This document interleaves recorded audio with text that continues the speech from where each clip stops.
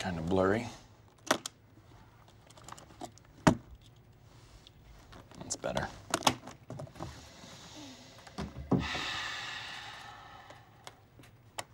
Question. What kind of bear is best? That's a ridiculous question. False. Black bear. Well, that's debatable. There are basically two schools of thought. Fact. Bears eat beets. Oh. Bears. Beets. Battlestar Galactica. Bears do not. What is going on? What are you doing? Last week, I was in a drugstore and I saw these glasses, uh, $4. And it only cost me $7 to recreate the rest of the ensemble, and that's a grand total of $11. You know what? Imitation is the most sincere form of flattery, so I thank you. Identity theft is not a joke, Jim.